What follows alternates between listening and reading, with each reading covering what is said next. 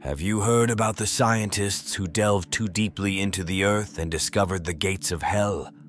During the 1960s, the United States and the Soviet Union were engaged in the Great Space Race, but they were also competing to see who could get to the center of the Earth first.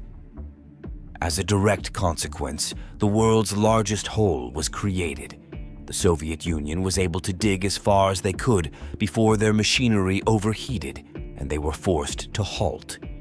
It was a remarkable achievement of science at the time. On the other hand, for some people, it represented a horrifying step into, uh, hell. Why did the Russians plug the world's deepest hole? What did they discover in the Kola super deep borehole? Can we dig deeper now? Join us as we explore how scientists discovered something in the deepest hole on Earth that no one was supposed to see. In the 1960s, Russian scientists embarked on an ambitious drilling project with the aim of penetrating the Earth's upper crust and collecting samples from the warm, mysterious area where the crust and mantle intermingle, known as the Mohorovičić discontinuity, or MOHO. The depth of this region required the scientists to develop novel approaches to drilling, some of which proved quite ingenious. However, Despite the Russians' best efforts over the course of several decades, they were unable to uncover all of the planet's mysteries. However, the Soviet work did yield a wealth of information about what lay just beneath the surface, and this information is still relevant to science today. The project is known as the Kola Superdeep Borehole. The USSR's Interdepartmental Scientific Council for the Study of the Earth's Interior and Superdeep Drilling spearheaded the drilling operation, which began in 1962 after years of planning. It began at the same time as the space race, an intense period of competition between the United States and the Soviet Union, and in 1965, the project's leaders chose to drill on the Kola Peninsula in the northwestern part of the Soviet Union after conducting a reconnaissance to select a suitable drill site. In 1970, after another five years of planning and building, the drill finally started making its way underground. The project's special drilling equipment is housed inside a 200-foot tall cage. Most deep drilling rigs employ a revolving shaft to bore through the ground, utilizing a series of extensions that are steadily added as the hole becomes deeper but such a system proved impracticable with a hole as deep as Kola was projected to be. To get around this problem, the Russian scientists came up with a system whereby just the drill bit at the shaft's end was turned. They were successful in doing so by spinning the custom-made drill bit by pumping pressurized, drilling mud down the drill shaft. The modest, simple, heavy-duty maintenance hole cover is fastened in place with a dozen massive, rusty bolts it stands among rotting wood and sheets of scrap metal, remnants of the derrick and housing that once stood in Russia, at an abandoned drill site. The world's deepest man-made hole is located below, and its 9-inch diameter makes it nearly invisible from the surface. Researchers on the surface could get an ever closer look at the Earth's composition thanks to the Soviets' drilling rig, which was built such that core samples would be delivered throughout the whole length of the drill shaft. Geologists have already drawn certain conclusions about the deep crust of the Earth from surface measurements and seismic data before the super deep drilling project began. A few scientific ideas were shattered, but that is par for the course when humans explore the unknown. Kola was an example of how certainty from a distance is no certainty at all. Researchers are often surprised by what they uncover when they start drilling. That's fascinating and unsettling all at the same. To explore the cosmos beyond our solar system, NASA sent Voyager 1 into space in 1977. So why have engineers just dug a few miles into the planet in 20 years? It turns out that drilling a deep hole into the center of the Earth is a bit difficult than researchers imagined. The granite rock at the Kola Super Deep borehole location, for example, was rather easy to drill through when drilling first began there in the 1970s. However, the drillers ran into increasingly dense layers at a depth of 4.3 miles. Scientists were taken aback when they failed to locate the granite to basalt transition at the predicted depth of 2 to 4 miles below ground. Seismic waves move far more quickly below that depth, according to the data, and this was long thought to be because of a basalt basement by geologists. Instead, the difference was determined to be a change in the rock brought on by tremendous heat and pressure, or metamorphic rock. What's more astonishing is that water was found to be so abundant in the crevices of this deep rock. Scientists believe that the water is made up of hydrogen and oxygen atoms that were pushed out of the surrounding rocks due to the enormous pressure, as free water should not be found at those depths. The layer of impermeable rocks above the water then stopped it from rising to the surface. As a result, numerous drill bits snapped and the crew had to make adjustments to the drilling's course. Therefore, multiple drill paths were taken before a relatively vertical one was attained. The resulting drill pattern is reminiscent of a Christmas tree. The engineers persisted, but the hotter the earth got, the less effective the drill became.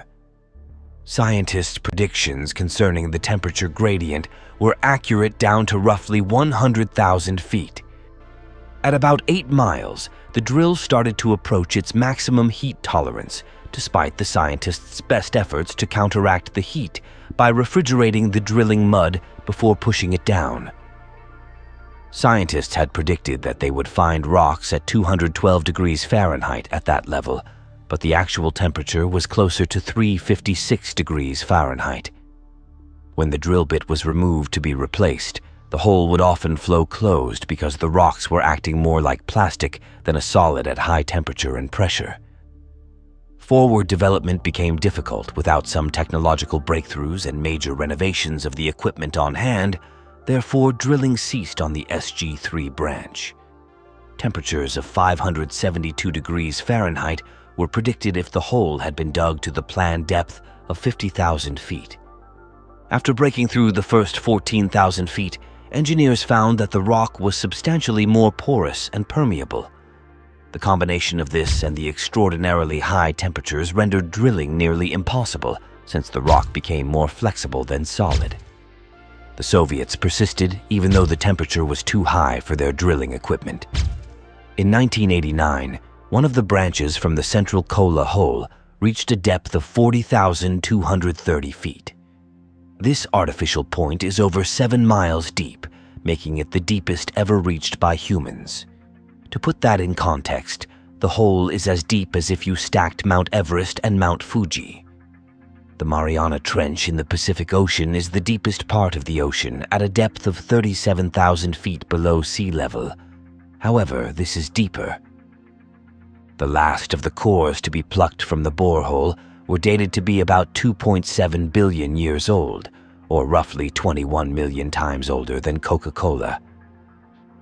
The Earth is a multi-layered structure with intricate features. These layers are classified according to their chemical makeup, physical characteristics, and the processes that take place inside them. The crust of the Earth is the physical layer that humans exist on. Silica and alumina make up the bulk of the crust. Its thickness varies widely, from around 3 miles near the beach to around 45 miles near the mountains. There are two distinct forms of crust on Earth, the thinner and denser oceanic crust and the thicker and less dense continental crust. The mantle can be found under the crust. This layer makes up around 84% of the Earth's volume. About 1,800 miles down is where you'll find the mantle. It has two main sections, the upper mantle and the lower mantle, and is full of silicates and oxides.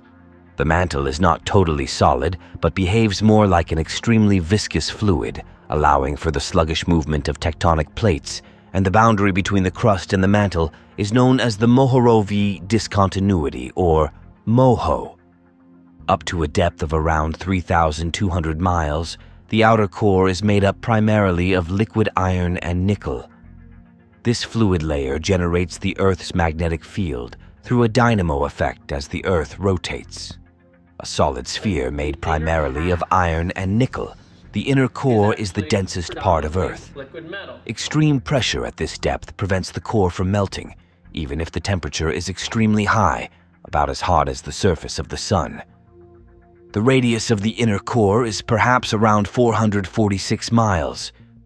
This layered structure is essential for comprehending not just the Earth's composition, but also its processes. The formation of the Earth's magnetic field and the movement of the plates under the Earth's crust are two examples. It is also possible to classify the Earth's layers based on other characteristics, such as their mechanical qualities. According to this description, the Earth is composed of the stiff lithosphere, which consists of the crust and the uppermost mantle, the fluid and movable asthenosphere, the lower mantle, the mesosphere, and the outer and inner cores. The continental crust is the outermost layer of Earth and the layer we stand on. It is roughly 25 miles thick. It takes around 1,400 miles for the outer core to reach the inner core, which is a hot, dense, mainly iron ball with a radius of roughly 758 miles. But even at that depth, the Kola project only reached into a fraction of the Earth's continental crust, which spans from 20 to 80 kilometers thick. In 1994, drilling was discontinued at the site. Why did this drilling deep into Earth happen? We drill large holes for many reasons, most notably for obtaining commodities like fossil fuels and metals. The Kimberley Diamond Mine in South Africa, also known as the Big Hole, is one of the largest holes in the world dug by human hands and no machinery, and it is located in a pit that is three quarters of a mile deep and spans 2.5 miles across. The mine is 100 years old. In the name of science, people dig holes to learn more about geohazards like earthquakes and volcanic eruptions, georesources like geothermal heat and energy, the evolution of Earth and life on it, and environmental changes in the past so that they can better predict changes in the future, and so on.